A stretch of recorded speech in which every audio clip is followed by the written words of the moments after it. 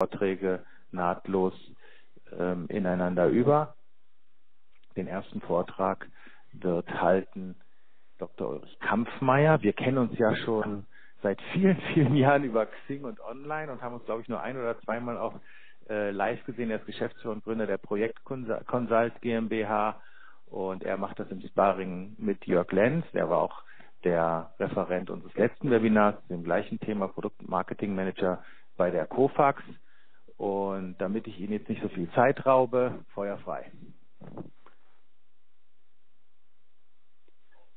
Ja, wenn unter Feuer frei verstanden ist, dass wir uns äh, auf, die Themen, auf das Thema sozusagen ein bisschen einbeziehen. Kofax ist als einer der Anbieter in diesem Lösungssegment unterwegs und ich vermute, dass diejenigen, die heute an diesem Webinar teilnehmen, ganz unterschiedliche Interessen haben. Die einen kommen aus der Ecke, die die Kundenbeziehung und auch den Kundenkontakt etwas verbessern möchten. Und nicht nur, wenn es darum geht, einen Telekommunikationsvertrag zu kündigen, wie wir es gerade mitgekriegt haben, sondern vor allem neue Kunden zu gewinnen und die dann vielleicht auch mit bestimmten Abschlüssen zu versehen. Der andere wird zuhören, weil er ein Compliance-Thema hat. Und ähm, im Bankenbereich insgesamt ist aufgrund der Niedrigzinsphase die Kosteneffizienz ein ganz heißes Thema. Und mit Unterschriften und Signaturen, da haben wir auf der einen Seite den rechtlichen Aspekt und da wird nachher der Herr Kampfmeier recht tief mal eintauchen und das auch ein bisschen interpretatorisch erklären.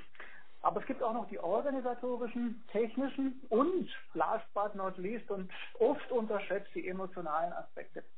Bei diesen Herausforderungen ist Kofax seit vielen Jahren schon unterwegs und hat sich das Themenfeld Unterschreiben, Signaturen durch Zukauf einer Firma, die Softpro hieß, 2014 mit ins Produktportfolio genommen.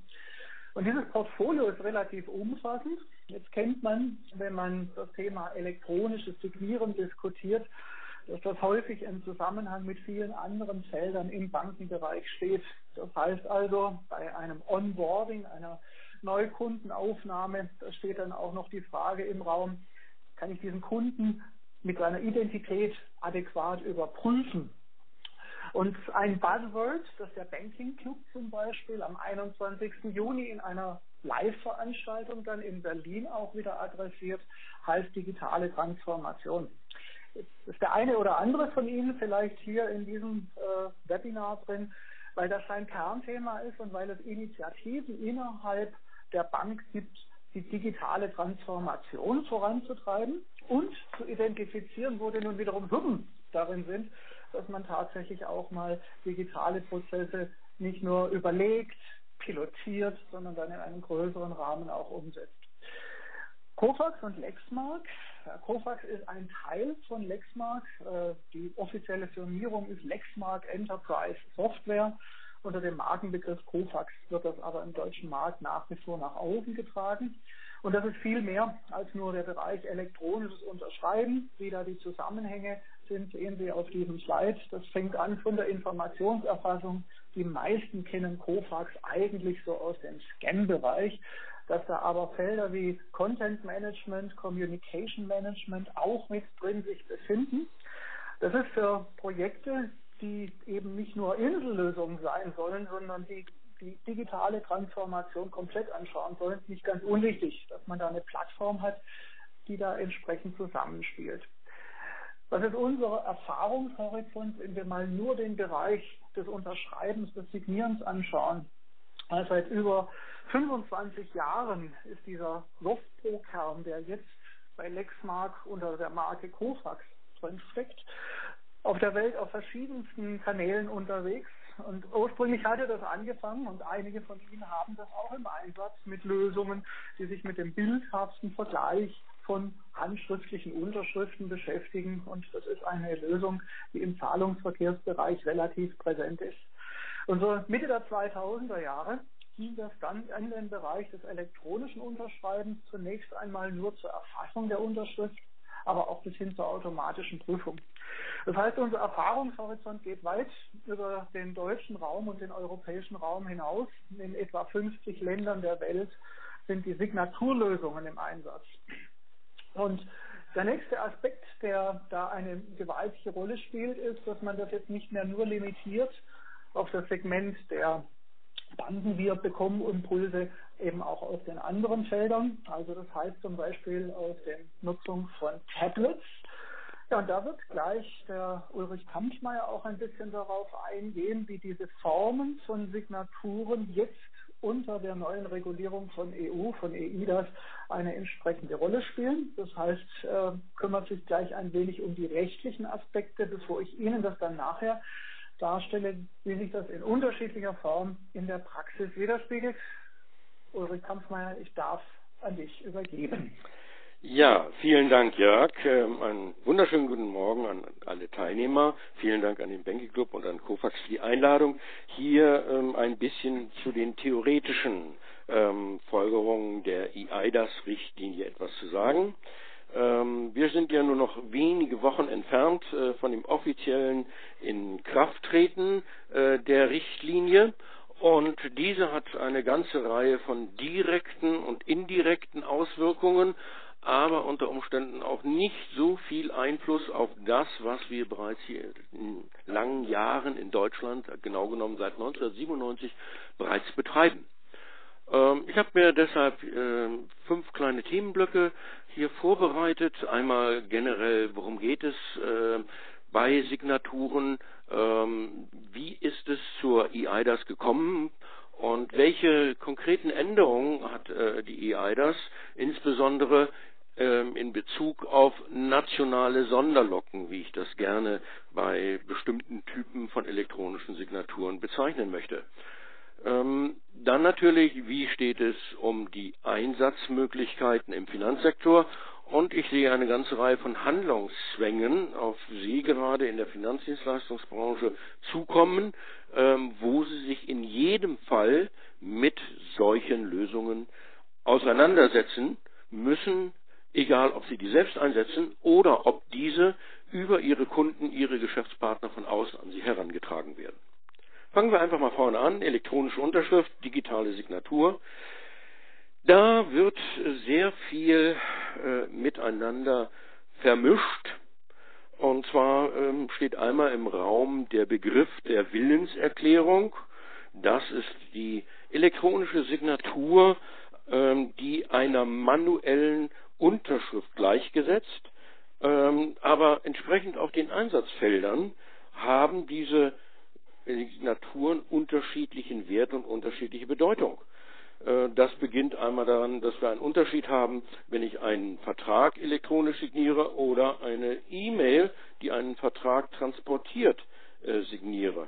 Und äh, beim Thema elektronische Signatur haben wir dann auch noch unterschiedlichste technische Verfahren, die ebenfalls unterschiedlichen Wert haben, wenn es um eine rechtliche Würdigung geht. Und deshalb möchte ich das gerne erst einmal differenzieren.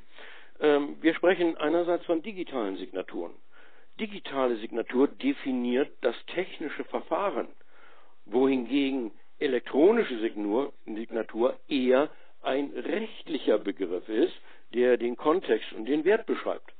Und äh, da ist schon mal auffällig, dass bei elektronischen Signaturen, wie sie in Gesetzen definiert worden sind, äh, unterschiedlichste Techniken vorkommen können. Und das muss nicht immer eine kryptografisch enkodierte digitale Signatur, wie wir das mit Signaturkarten kennen, sein. Das können auch ganz andere Formen sein. Dann haben wir natürlich unterschiedliche Typen, wenn wir von Signaturen sprechen, die eine unterschiedliche Qualität haben. Wir haben die personengebundenen Signaturen, die Sie alle von Signaturkarten kennen. Ähm, da geht es dann entweder um eine Willenserklärung, wie beispielsweise bei einem Vertragsabschluss, oder aber auch um die Bestätigung eines Sachverhaltes, wenn man die irgendwo zum Signieren eines gescannten Dokumentes oder so etwas einsetzt. Daneben haben wir auch schon seit Jahren technische Signaturen, wie zum Beispiel Zeitstempel. Ähm, die benutzt werden, um Informationen abzusichern, um das Datum dieser Informationen nachweisbar zu machen, ähm, Transaktionen eindeutig äh, zu beschreiben, wie, wo, wann mit diesen Informationen gearbeitet hat.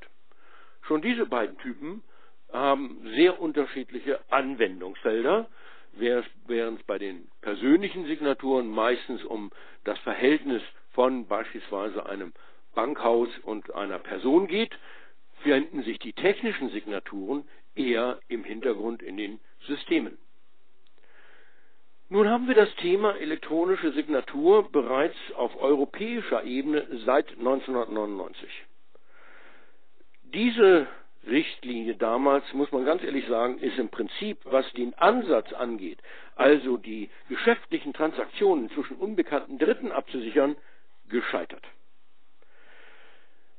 Einmal wurde diese Richtlinie in nationales Recht mit leichten oder mehreren Änderungen umgesetzt und zum anderen war irgendwie eine rechtliche oder technische Kompatibilität oder ein genau definiertes Anwendungsgefeld in dieser Richtlinie nicht enthalten. Und deshalb hat sich so das Thema elektronische Signatur und die Einsatzmöglichkeiten in Europa sehr, sehr unterschiedlich um, um, entwickelt. In manchen Ländern weit verbreitet, in anderen Ländern überhaupt nicht verbreitet. Und was den Einsatz elektronischer Signaturen angeht, für Deutschland ähm, sind wir ziemlich weit hinten. In dieser Richtlinie der RLES äh, wurden unterschiedliche Typen definiert. Zum Beispiel einfache Signaturen, äh, der Footer einer E-Mail, eine eingefügte gescannte äh, manuelle Unterschrift, äh, das Signieren mit Passwortcodes, ähm, fortgeschrittene Signaturen, beispielsweise ähm, biometrische Signaturen, die Sie in Ihren Häusern ähm, auf Pads einsetzen und äh, in anderen Anwendungen bereits äh, bei Kontoeröffnungen und ähnlichen Dingen zum Einsatz bringen. Und dann natürlich solche besonders gut abgesicherten elektronischen Signaturen mit äh, Zertifikat und Signat, ähm, entsprechender ähm, Akkreditierung.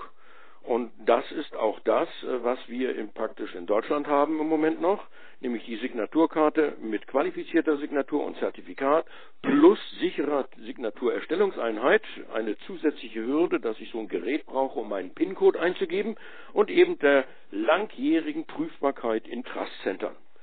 Das heißt, wir haben allein in Europa von der reinen E-Mail-Footer-Geschichte, zum Beispiel in England, bis hin zu einem sehr, sehr aufwendigen, überprüfbaren Verfahren eben der deutschen qualifizierten Signatur mit Anbieterakkreditierung eine unheimlich große Bandbreite mit sehr unterschiedlicher rechtlicher Würdigung. Das zeigt sich auch, wenn wir in die deutsche Geschichte des Signaturgesetzes reingucken, denn das ist älter als die europäische Richtlinie von 1999 und daher rühren eine ganze Reihe von Problemen, äh, weshalb wir uns mit der Signatur in Deutschland so schwer tun. Wir waren die Ersten, die an das Thema rangegangen sind und leider entspricht das, was wir dort uns ausgedacht haben, nicht dem, ähm, was eigentlich mit äh, der Signaturrichtlinie von 1999 entsprechend äh, gewollt war. Natürlich wurden auch diese Richtlinien in Deutschland aktualisiert und äh, zuletzt äh, mit den großen Auswirkungen das E-Government-Gesetz, wo eben neben Signaturen andere Verfahren als nahezu gleichwertig positioniert worden sind. Zum Beispiel die EID, die Sie auf Ihrem neuen Personalausweis haben, die dafür aber nicht nutzbar ist, und die E-Mail, und das will eigentlich auch keiner. Das heißt, wir haben hier im Prinzip keine entsprechende Verbesserungen in der Nutzung von abgesicherten Verfahren in der Kommunikation und beim Vertragsabschluss. Nun haben wir alle die große Hoffnung, dass durch EIDAS, durch die EU-Verordnung 910 von 2014, hier das große Wunder passiert und alles einfacher wird. Der Titel leitet sich ab von Electronic Identification and Trust Services und äh, ist verabschiedet und wird in Deutschland zum 1.7.2016, also dieses Jahr, wirksam.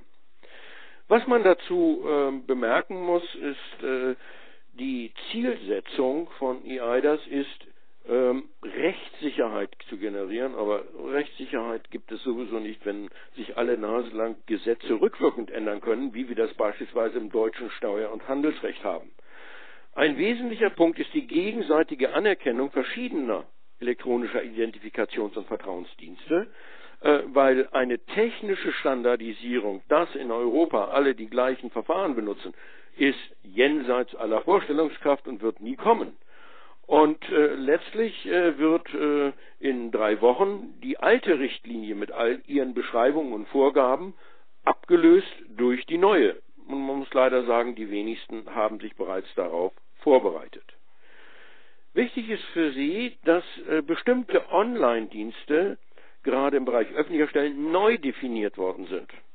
Äh, dass dort neben zertifikatsbasierende Dienste auch zertifikatsfreie Dienste wie beispielsweise biometrische Unterschriften auf einem Pad, äh, andere Formen fortgeschrittener elektronischer Signaturen und so weiter zum Einsatz kommen können. Aber auch die deutsche qualifizierte elektronische Signatur KESS gibt es weiterhin, denn die fällt unter Punkt 3 qualifizierte elektronische Signatur mit einem qualifizierten Zertifikat. Also die deutsche Lobby der Signatur hat in die europäische Gesetzgebung das deutsche aufwendige und wenig anerkannte Verfahren herübergerettet. Das werden wir auch noch an anderer Stelle sehen.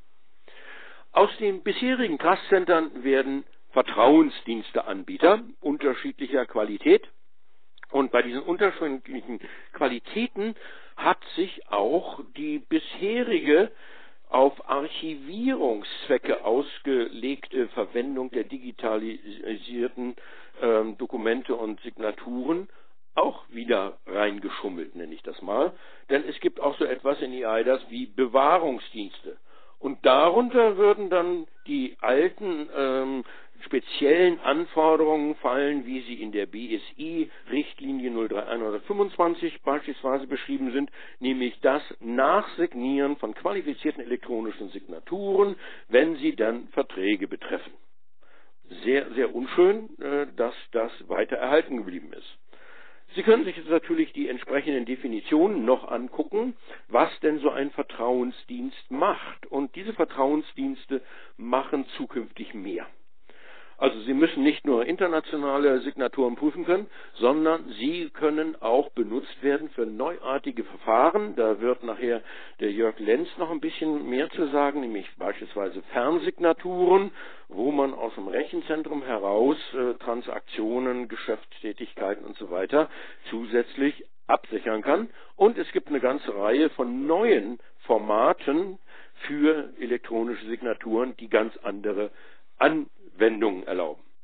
Was ich sehr schön finde, ist äh, die zweimalige Erwähnung zum Thema Rechtssicherheit, weil äh, viele von Ihnen im Bankenbereich haben in der Vergangenheit schon Pads eingesetzt und da war immer fraglich, welchen Wert hat denn diese biometrische Unterschrift auf einem Signaturpad?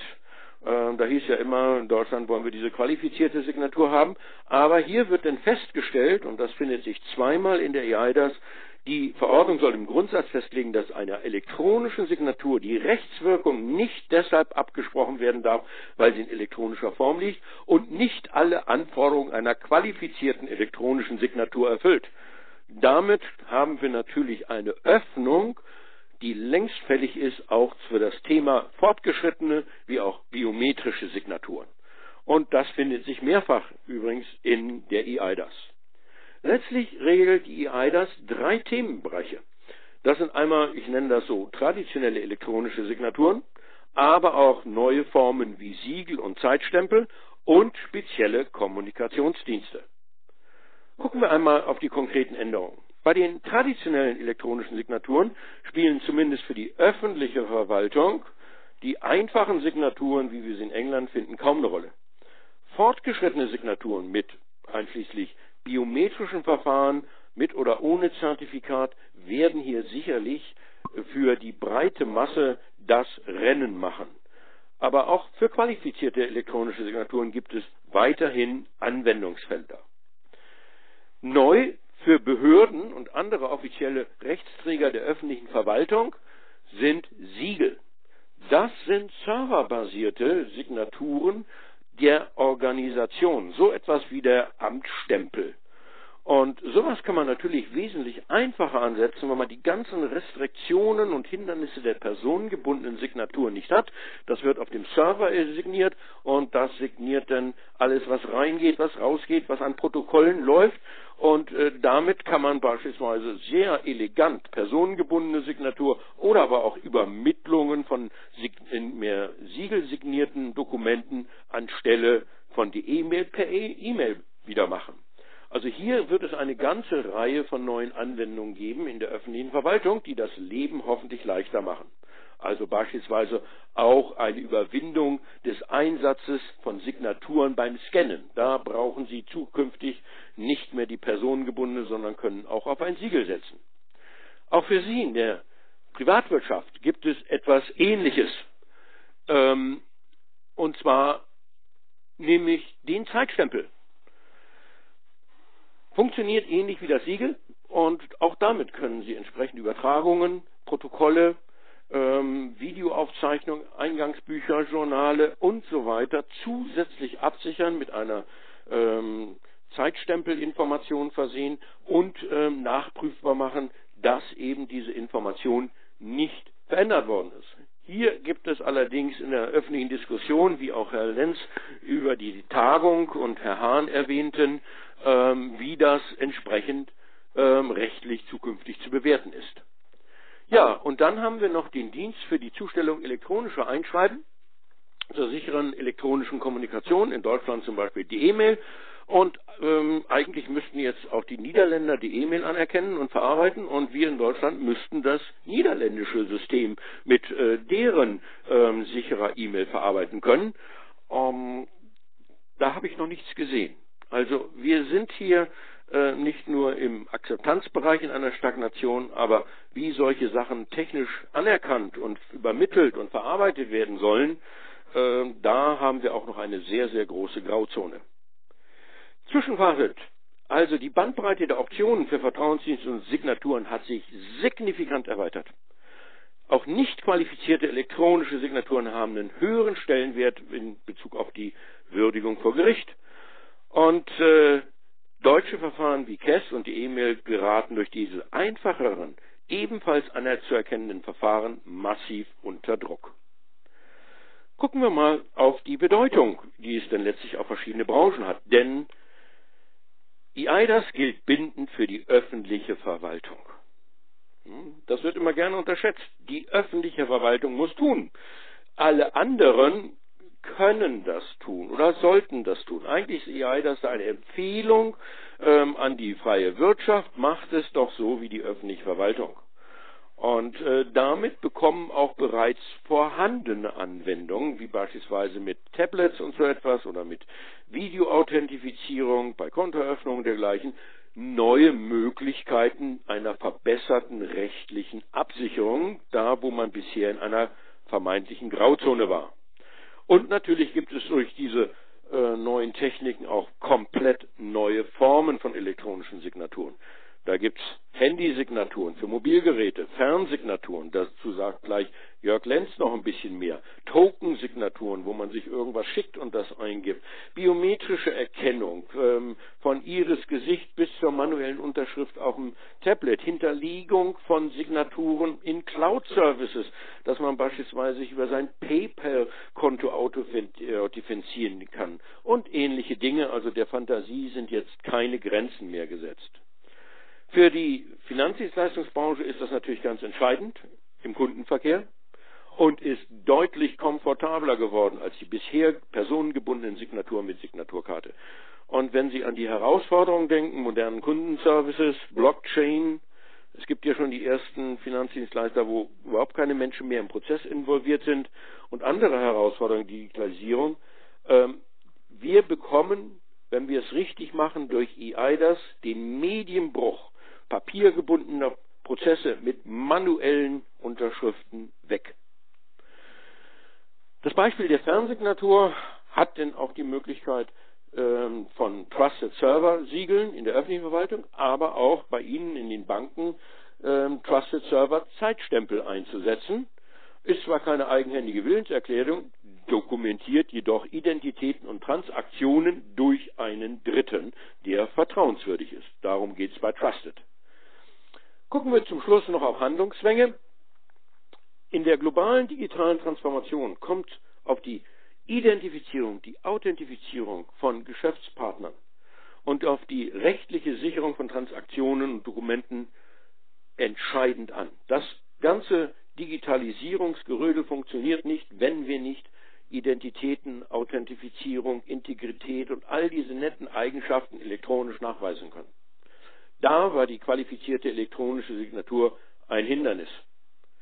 Durch die Brandbreite und die Vereinheitlichung, zumindest in Europa, ähm, haben wir die Chance, hier auch übergreifende Anwendungen endlich mal zu machen.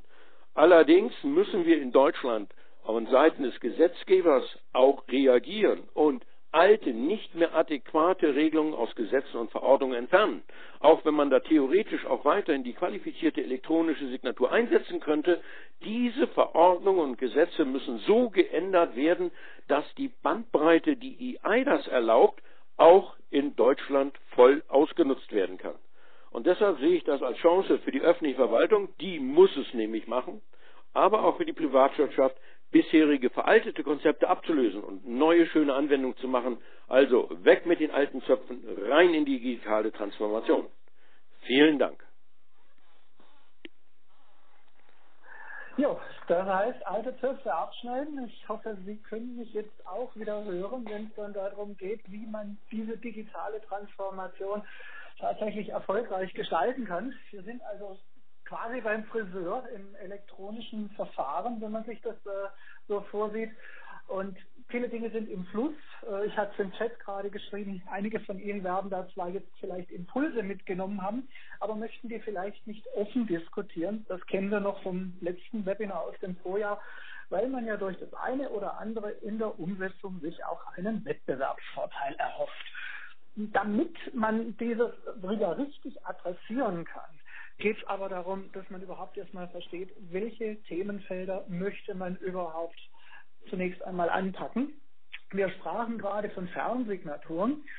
Ähm, es gibt aber verschiedene Szenarien und man kann es runterbrechen auf eine einzige Frage, nämlich wer soll was, wann, wo, warum, wie unterschreiben. Wenn man diese Ws geklärt hat, und es kann sein, dass es mehrere Geschäftsprozesse sind, die Sie damit adressieren möchten, dann kommt man der Sache etwas näher. Und rund um das Unterschreiben steuert EIDAS zunächst einmal das Interesse auf das Unterschreiben abseits von ja, Situationen, in denen man mit einem Berater beispielsweise zusammen ist. Und so im Selbstbedienungsbereich, dass der Mitarbeiter also keine Rolle spielt, höchstens vielleicht über eine Videokonferenz. Wenn Sie Ihre Lösung nicht als Insellösung ansetzen wollen, dann haben Sie typischerweise aber den Bedarf, dass Sie beide Felder unterstützen müssen. Und äh, Herr Kampfmeier sprach gerade so davon, dass man die manuelle Unterschrift auf Papier loswerden will. Da sind wir uns alle einig. Äh, das Papier in den Prozessen keine große Rolle mehr spielen soll. Aber im Bereich der manuellen Unterschrift, wenn Sie die Hürde für die digitale Akzeptanz eines Verfahrens möglichst niedrig setzen wollen, dann spielt die im direkten Personenkontakt immer noch eine enorme Rolle. Dann kommt die nächste Frage bei der Untersuchung der eigenen Prozesse. Also wenn man wirklich mal ganz konkret hinterfragt und vielleicht nicht nur einen Vorgang hat, zum Beispiel den Abschluss eines Kreditvertrags, sondern das Thema für die Organisation generell anpacken möchte. Welche exakten Vorschriften bremsen mich aus? Ist es eine Industrieregulierung? Gibt es eine explizite gesetzliche Vorschrift? Der Herr Kampfmeier hat die Interpretationen der gesetzlichen Vorschriften schon mal auf High Level gestartet. Und der emotionale Aspekt darf bitte nicht unterschätzt werden, die vertrieblichen Gründe. Und ähm, das heißt, bei den Situationen, bei denen Mitarbeiter das Unterschreiben durchführen lassen, also bei einem sogenannten In-Person-Kontakt, da geht es auch darum, dass man den Mitarbeiter und nicht nur den Kunden für das Thema gewinnen muss. Operationale Risiken. Diese Checkliste hier ist äh, eine auf High Level wiederum, die es in einer Reihe von Finanzorganisationen intern gibt, wenn es darum geht, den Prozess abzuschätzen und dann entsprechend den Übergang auf ein digitales Verfahren. Also auch das hier wieder nur als Appetithäppchen für tiefergreifende individuelle Diskussionen. Papierlos wollen wir alle gehen. Die Prioritäten sollten aber klar sein. Äh, Geht es wirklich nur um Compliance? warum mache ich die ganze Übung? Geht es darum, dass ich Kunden überhaupt einfach ähm, neu gewinnen kann, wenn ich zum Beispiel einen Prozess über ein Tablet dem Kunden ermögliche? Habe ich beispielsweise einen Mittler zwischendrin, einen Makler, dem möchte ich es möglichst schmackhaft machen, dass der seine Kommission schnell bezahlt bekommt. Die Prioritäten in dem Prozess sind ganz entscheidend. Das kann zum Beispiel auch dazu führen, dass man sagt, Augen zu und durch. Da gibt es zwar vielleicht irgendeine Rechtsvorschrift, aber ich kann das operationale Risiko einschätzen, wenn ich nicht unbedingt compliant bin. Ich wähle bewusst eine einfachere Lösung. Und in den wenigen Fällen, in denen etwas schiefläuft, ich in Gottes Namen nicht vor Gericht. Also auch das beobachtet man in der Finanzbranche. Und das wird Ihnen bekannt sein. Erst kürzlich beim ZDF wurde da mal wieder der Finger in eine, ja, ist es eigentlich eine Wunde oder macht hier ein Journalist wieder ein Thema aus etwas, was eigentlich kein großes Thema ist? Ja, je nach Institut beurteilt man das unterschiedlich. Ähm, faktisch ist es so, dass man im Überweisungsbereich, im ganz klassischen Belegbereich auch operationale Risiken abwägt ab wann man eine Software einsetzt, ab wann man praktisch diese Lücke schließt, automatisch etwas stärker prüft. Jetzt kommt aber ein weiterer Faktor hinzu.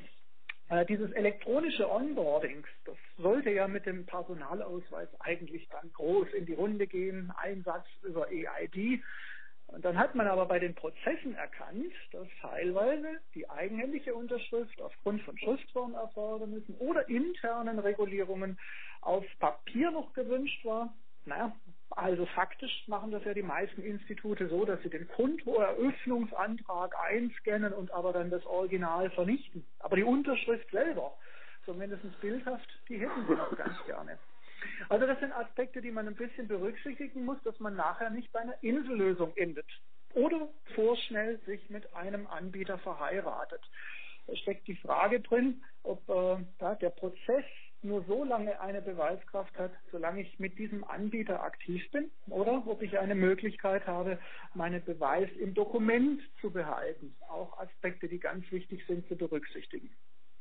Diese neue EU-Regulierung ist nicht ein Ersatz der früheren EU-Direktive, wie wir gerade nochmal uns vergegenwärtigt haben, und auch nicht nur des Signaturgesetzes, die greift breiter. Sie hat also Aspekte drin bis hin zu Zeitstempeln, Zustellung.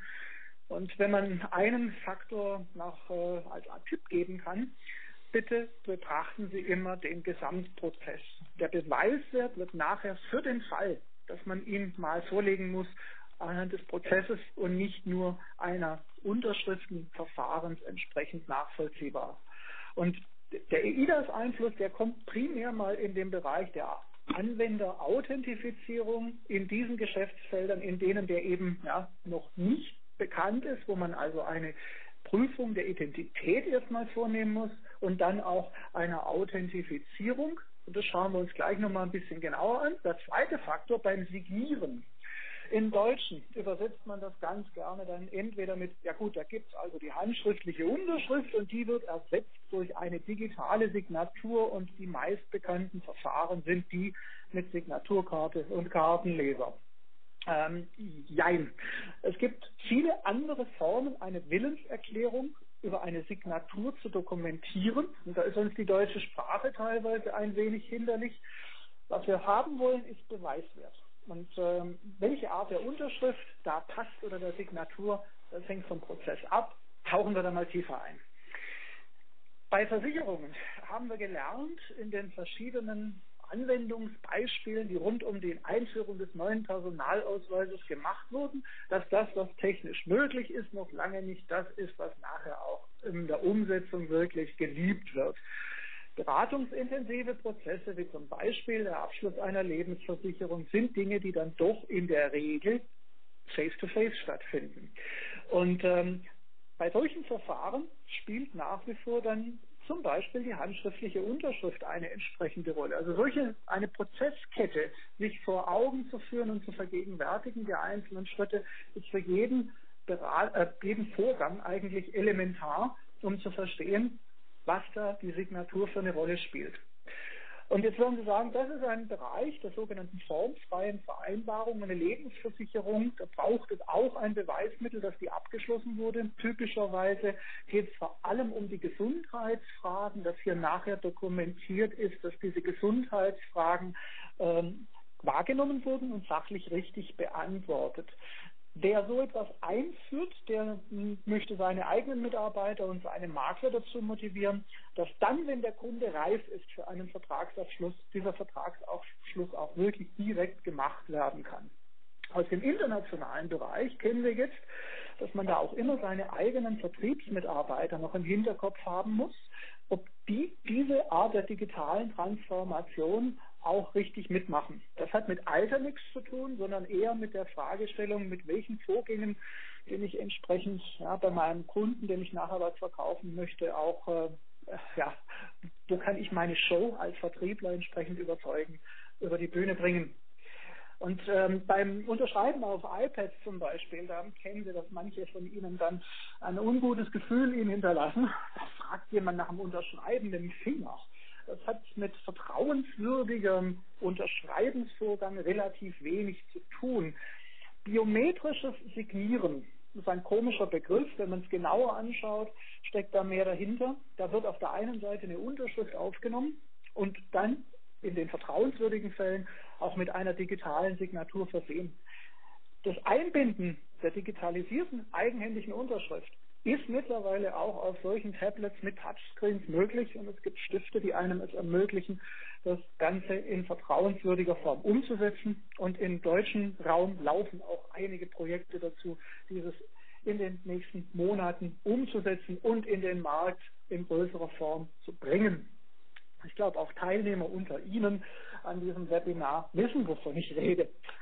So, und um das jetzt nochmal ein bisschen exakter äh, zu zeigen, da gibt es äh, eine Zusammenbacken praktisch von den biometrischen Merkmalen und auch von denjenigen, wie man ein Dokument und dessen Integrität absichert. Das ist eine Art Kochrezept bitte für diejenigen, die technisch da nicht tiefer drin sind. Das ist auch wieder nur äh, eine Spitze des Eisberges, um da nachvollziehbar zu machen, dass auch Signaturen, die nicht zum Beispiel den Titel qualifiziert elektronisch signiert tragen, durchaus einen sehr hohen Beweiswert aufweisen können und nach Hochrezepten gebaut sind, mit denen qualifizierte Signaturen auch verfahren.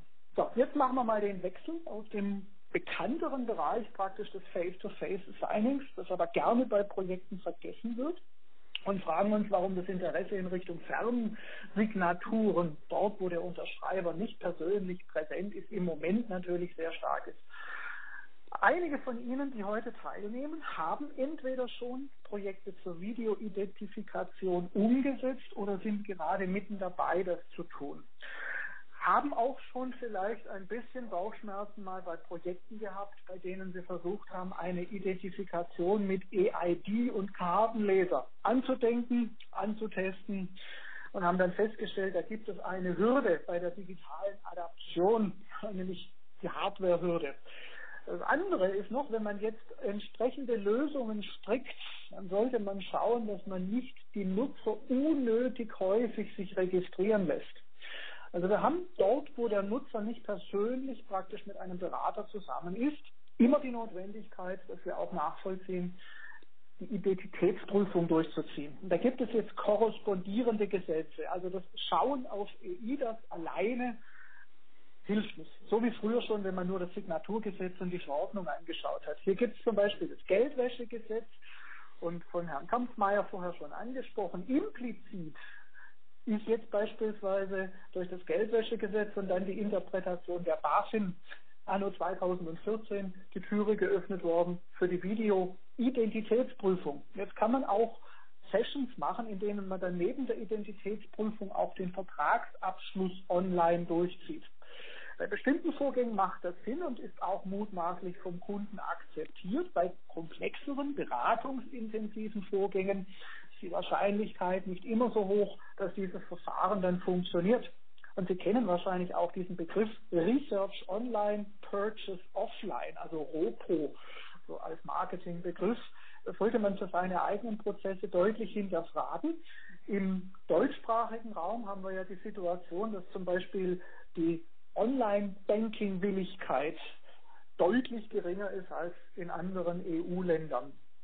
Ja, dann, ähm, wenn man jetzt Fernsignaturverfahren in solche Workflows einbinden möchte, muss man unterscheiden zwischen der eigentlichen Auslösung einer Signatur und dann der Orchestrierung des gesamten Signaturvorgangs. Also, dass man Dokumente dafür braucht, dass man äh, ein Dokument ähm, erstellt, das ein führendes Dokument ist, in dem zum Beispiel korrespondierende Inhalte sich befinden, ja, wie der Nachweis, dass man eine Identitätsprüfung vorgenommen hat. Und da gibt es jetzt ein Zusammenspiel zwischen sogenannten Signatur-Workflows und dem Angebot, das eben vertrauenswürdige Dritte jetzt machen können. Das ist neu durch EIDAS wo früher eine Signaturkarte zwingend vonnöten war, wo wir in Deutschland lange über Organisations- oder Unternehmenssignaturen diskutiert haben, sie aber eigentlich nicht wirklich umgesetzt haben, ist jetzt das Konstrukt des elektronischen Siegels Teil dieser EU-Verordnung, die damit automatisch auch in Deutschland entsprechend gilt. Technisch gesehen wird so etwas über Hardware-Security-Module umgesetzt, die zum Beispiel bei einem Vertrauensdienst der Anbieter angesiedelt sein können. Und dann korrespondiert ein solcher Signatur-Workflow ja quasi mit dieser Dienstleistung ähm, der Erstellung dann einer digitalen Signatur bis hin zur qualifizierten elektronischen ja, und korrekt gesagt eigentlich an dieser Stelle dann Siegel und nicht unbedingt Signatur. Also für Sie nochmal so als Takeaway, als Mitmerker, der Begriff des Siegels, der wird Ihnen in nächster Zeit wahrscheinlich sehr viel häufiger begegnen. Diese Workflows, die Komplexität der Einbindung von Signaturlösungen war über viele Jahre hinweg auch eine der Hürden bei der Akzeptanz. Und wenn man sich jetzt anschaut, auf was man da schauen sollte, wenn man so etwas umsetzt, dann gibt es eben Dinge wie äh, auf der einen Seite, dass ein solcher Workflow für den Nutzer nachher mit möglichst wenig Hürden versehen ist. Da gibt es konzeptionelle Unterschiede. Also Achtung, möglichst wenig Registrierungsaufforderungen schaffen. Nicht, dass man praktisch das Ganze als einen Hürdenlauf empfindet und sich zunächst einmal bei der Bank registriert, dann noch einmal vielleicht bei einem Signaturdiensteanbieter und, und, und. Das ist nicht für alle Zwecke vonnöten. Der Beweis sollte im Dokument selber sitzen. Entscheidender Unterschied vielen Lösungen, die manchmal nur die Beweis im Prozess irgendwo versteckt haben. Und Sie sollten sowas geschickterweise unter ihrer eigenen Kontrolle haben. Im deutschsprachigen Raum sind Dienste, die in der Public Cloud stattfinden, ja durchaus gerecht zu hinterfragen. Also in der Summe, um das Ganze entsprechend zusammenzuführen, damit wir verstehen, von wo aus Sie Ihre Projekte starten, Synergiemöglichkeiten innerhalb des eigenen Unternehmens auch vielleicht aufzeigen können, hilft es, wenn man genau diese Fragen versucht für sich zu beantworten. So, und damit darf ich wieder übergeben an den Herrn Hahn. Wir kommen in die Runde der Fragen und Antworten und damit auf das nächste Slide. Herr Hahn, bitte. Ja, vielen lieben Dank. Ähm, Sie haben es ja schon gesagt. Also jetzt äh, können wir die Fragen, die Sie nicht im Chat stellen wollen äh, oder können, weil es vielleicht zu aufwendig ist, gerne live stellen. Nochmal der Hinweis, die Sterntaste an Ihrem Telefon und dann die 1 drücken, kleinen Augenblick warten, mein Kollege schaltet Sie frei und das hören Sie in Ihrer Ohrmuschel, das kommt dann die Information, die Leitung ist jetzt frei und ähm, dann können Sie die Frage stellen. Ja, vielleicht Thorsten Hand, wir können ähm, auch vielleicht die Fragen, die im Chat schon ähm, aufgelaufen sind, äh, kurz anreißen. Da gibt es ja auch schon einiges an Kommunikation, wer mit wem telefoniert. Ich habe auch ähm, da äh, die ein oder andere schon mit einer privaten Nachricht äh, vertagt, weil wir nicht so viel Zeit haben. Aber da war ähm, einmal die Frage von Christoph Eick äh, für Darlehensverträge, nur die qualifizierte elektronische Signatur in Frage kommt. Äh, wenn wir an Verbraucherschutz und all die ganzen anderen bankfachlichen Vorgaben reingucken, äh, muss man heute sagen, eigentlich ja. Nur gerade diejenigen, die äh, vielleicht einen Darlehensvertrag unterschreiben wollen, haben in der Regel garantiert sowas nicht. Ähm, ich glaube aber, dass sich hier durch die abgesicherten Verfahren, die Jörg Lenz eben vorgestellt hat, neue Möglichkeiten ergibt. Denn man muss immer zwei Aspekte noch im Hinterkopf haben. Wann brauche ich diesen Vertrag zu welchem Zweck zur Vorlage. Ich habe natürlich die internen bankrechtlichen Compliance-Vorgaben, aber ansonsten ist immer ja ähm, dieses Angst schaffen, ich muss mit diesem Vertrag vor Gericht und dann stellt sich die Frage des Beweiswertes und da sind wir sicherlich auch in der im Umfeld der Risikoabwertung und wir haben gesehen in der EIDAS, da wird ganz klar gesagt, grundsätzlich, versuch vorausschauend, ähm, darf man auch einer ähm, Signatur, die nur fortgeschritten ist und eben keine qualifizierte ist, nicht vor Gericht den Beweiswert abstreiten. Also da sind wir noch ein bisschen in der Grauzone. Ich hoffe, das wird sich in den nächsten ein, zwei Jahren ein bisschen klären. Wäre das die Antwort gewesen, Herr Eick, dann schreiben Sie ganz einfach kurz eine Nachricht. Dann hatte ich gesehen, Dennis, ähm, Adobe, digitale Signaturenfunktion. Ähm, auch da muss man äh, erstmal wieder in, ins Technische rein. Äh, ist das eine interne? Habe ich dann eine PKS 7 hinten dran gehängt?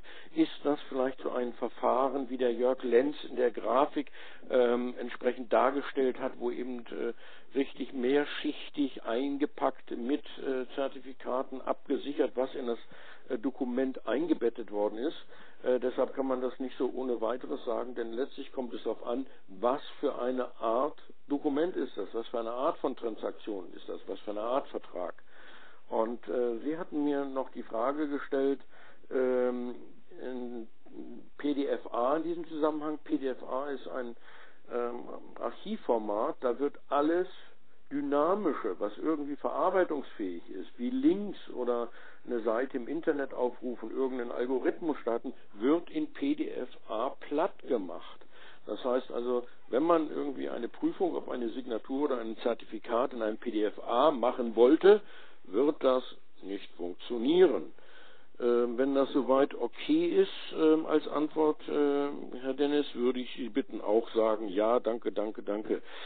Ähm, dann hatten wir ähm, Herr Baseiten ähm, Finanzierungsverträgen mit iPad und Stift, wenn wir so zusätzlich in die Prozesse so etwas einbauen wie Fernsignaturen und das Ganze hinterher nachvollziehbar schön kapseln, den Prozess der Verarbeitung intern und extern mit dem Kunden äh, sauber dokumentiert und abgesichert haben, müsste das jetzt eigentlich ab 1.7. klappen, oder?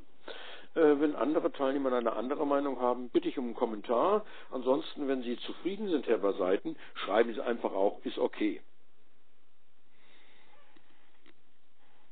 Ja, ich glaube, das waren, damit ist auch, glaube ich, die Frage von dem Herrn Glasbrenner beantwortet. Ne? Wann wird das aus Ihrer Sicht der Fall sein? Alte, äh, alte nicht adäquate Regelung entfernt in zum Juli in drei Wochen? Äh, Thorsten, Thorsten, nein, also äh, die alten adäquaten Regelungen sind nicht in drei Wochen entfernt. Da, da ist der deutsche Gesetzgebungsprozess sicherlich vor. Äh, die EIDAS tritt äh, offiziell in Kraft. Äh, in der öffentlichen Verwaltung beispielsweise gibt es äh, Initiativen, das irgendwo bis äh, Ende 2018 dann überall mal eingeführt zu haben.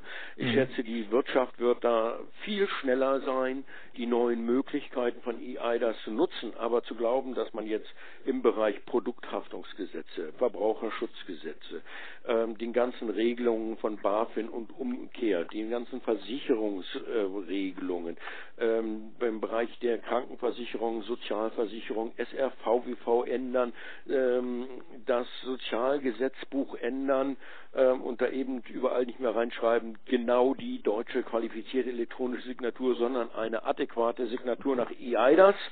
Das mhm. wird ewig dauern und bis dahin laufen eben, äh, Thorsten, die, die Problemfälle auf, nach dem Motto, dass irgendeiner aus dem Ausland mit einer niederländischen Signatur sich an die deutsche Rentenanstalt äh, wendet und irgendwas beantragt, wo er eine Unterschrift für braucht und dann muss die deutsche Rentenanstalt das anerkennen und kann das wahrscheinlich mhm. technisch noch nicht mal prüfen. Mhm.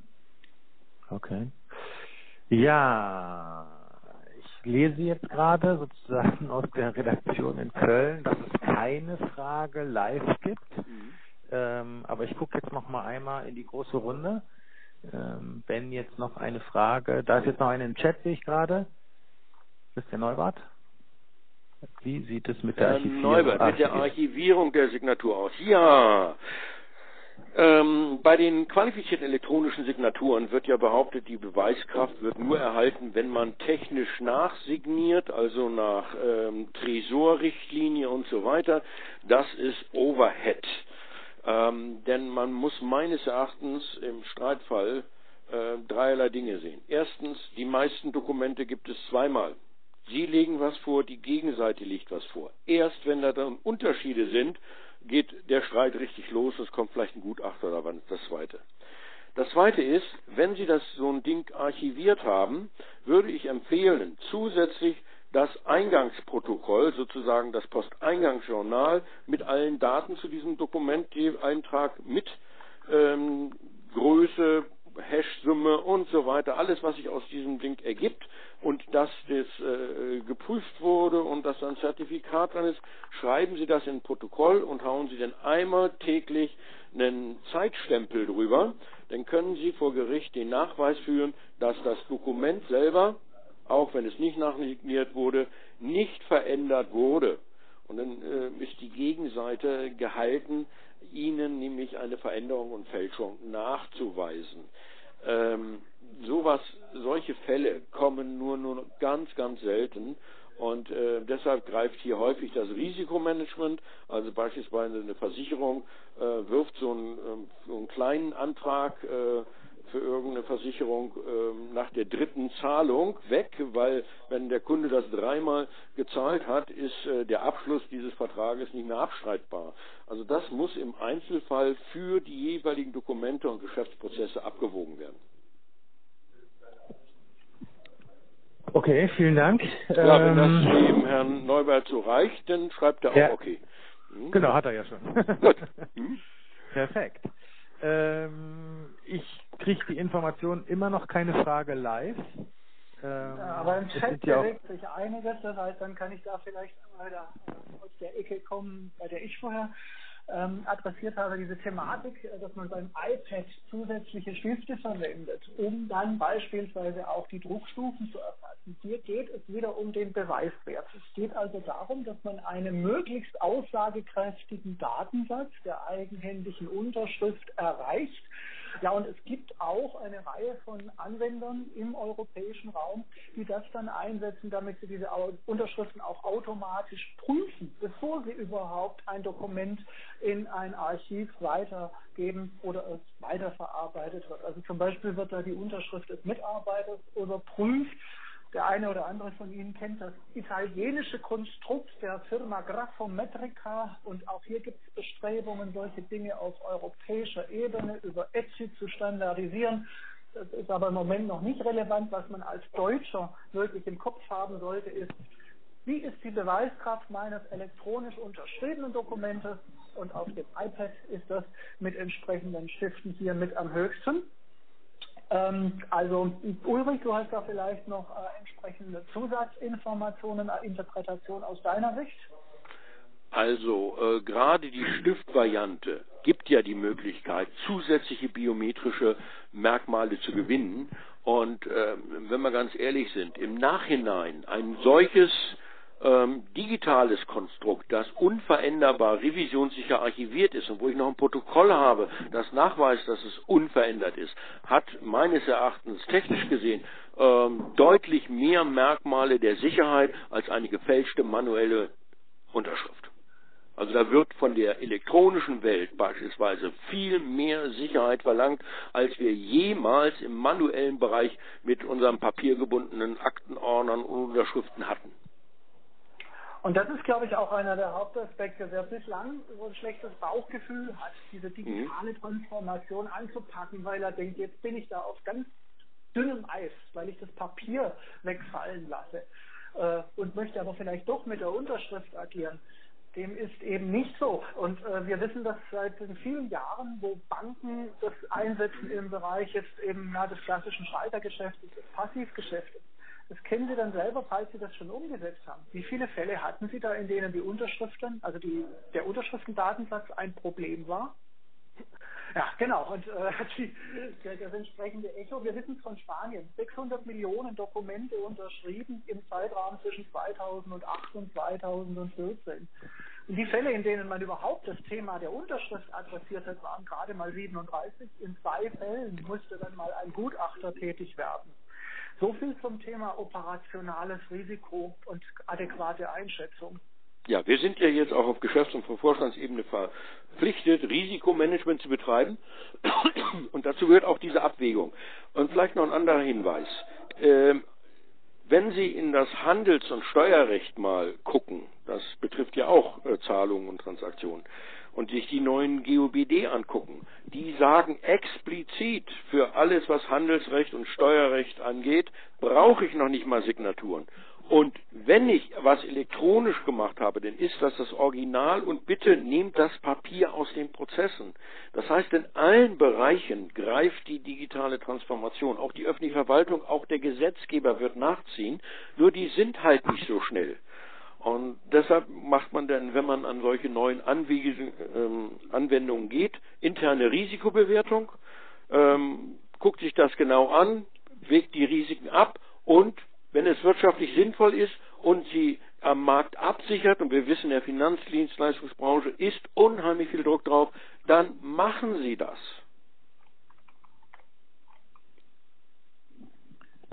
So, da ist noch die Abkürzung. GOBD, das sind die neuen Grundsätze zur ordnungsmäßigen Buchführung und Dokumentation und so weiter. Das ist so ein langer Satz.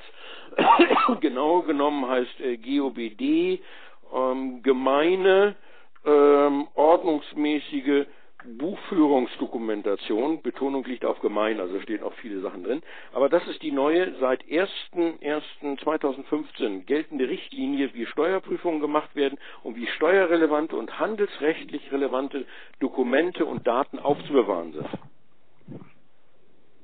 Okay, wir sind jetzt, äh, wir sind jetzt schon sozusagen an der Grenze angekommen und ähm, aber da ist noch eine Frage, die sollten wir vielleicht noch schnell beantworten. Oliver Weichert fragt, ich wiederhole nochmal die Frage, welche Bedeutung hat der zeitliche Aspekt, wenn Kundenidentifikation, Authentifizierung später gemacht wird als die Unterschrift des Vertrages? Ähm, soll ich erst mal was sagen, Jörg? Ja, machst du mal. Also, Vielleicht, äh, vielleicht ganz, ganz kurz dazu. Ähm, die personengebundene, kartengebundene Signatur hat keine abgesicherte Zeitangabe, die nimmt ihr sowieso den Server. Da haben wir bei den Zeitangaben äh, mit unseren schönen Signaturkarten sowieso ein Problem. Wohingegen Zeitstempel und andere serverbasierte Geschichten auch eine verifizierbare Zeit haben. Da haben wir ursprünglich schon eine Unsicherheit gehabt. Wenn ich entsprechend ähm, später so etwas mache, dann muss das relativ zeitnah, und diese Begriffe sind leider nicht eindeutig definiert, was zeitnah ist, erfolgen. Also nicht erst Wochen später, sondern äh, der, der Abstand zwischen beispielsweise einer Signatur auf einem Pad und der Fernsignatur sollte nicht zu lange weg sein.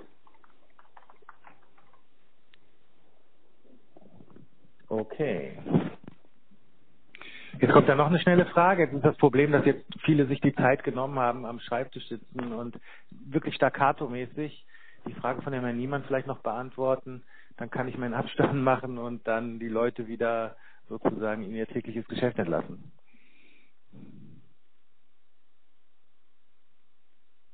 Jetzt sagt er schon Dank. Ähm, die Frage ist noch nicht, ach nee, da, ach so, das ging nur um den Download der, der Präsentation. Okay, nee, das war das ist ja technisch erledigt. Technische Frage wird erledigt, äh, gibt's nachher online. Okay, ähm, Wahnsinn. Also irrsinnige Tiefe, irrsinnige Breite. Wir haben zum zweiten Mal gesehen, dass dieses Thema anhand der Anmeldezahlen extrem rührt äh, und dass da extrem viel Bedarf ist, sich damit zu beschäftigen. Und ich glaube, ähm, das tut der Bankbranche auch gut. Äh, Sie, Herr Lenz, hatten es gesagt, da geht es ja nicht nur um Kündigungen zu beschleunigen, sondern auch vor allen Dingen schneller Neukunden zu gewinnen. Ähm, Riesenthema. Wir werden dranbleiben. Wir werden weitere Informationen zur Verfügung stellen. Ich glaube, wir werden das Thema auch nochmal das ein oder andere Mal inhaltlich auf einem unserer Kanäle oder Veranstaltungen bespielen. Ähm, an die beiden Referenten, an dich Ulrich, an Sie Herr Lenz. Vielen lieben